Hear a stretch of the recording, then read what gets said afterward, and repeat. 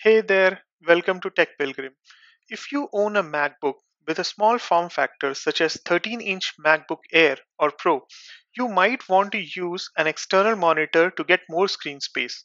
And if you want to focus exclusively on one screen while working, you might want to run the laptop with its lid closed. However, there is a catch. It only works if the laptop is connected with a power adapter. But if we continuously keep the power cord connected, even when the battery is full, we might degrade the life of the battery soon.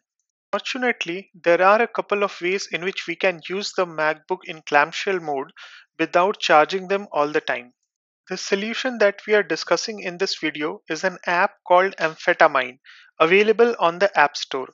This small utility can keep the laptop awake while the lid is closed. Let's get Amphetamine installed. Go to App Store and search for Amphetamine. Then click on Get and Install. Let the installation happen once installation is done, open the app. Next, you will see a series of dialogues introducing you to different features of the app. Now we will open the app by clicking on the icon in the menu bar. In the drop-down menu, there are many options, but the one we are interested in is Quick Preferences. Click on it. Then uncheck the checkbox Allow system sleep when display is closed. Now there will be a message describing nitty-gritties of clamshell mode and a recommendation to install Amphetamine Enhancer as a failsafe. Click Get Amphetamine Enhancer. This is an informational page. At the end of it, there will be a link to the official GitHub page. Click on that link. From the bottom of the GitHub page, download Amphetamine Enhancer and install it. Now we are all set.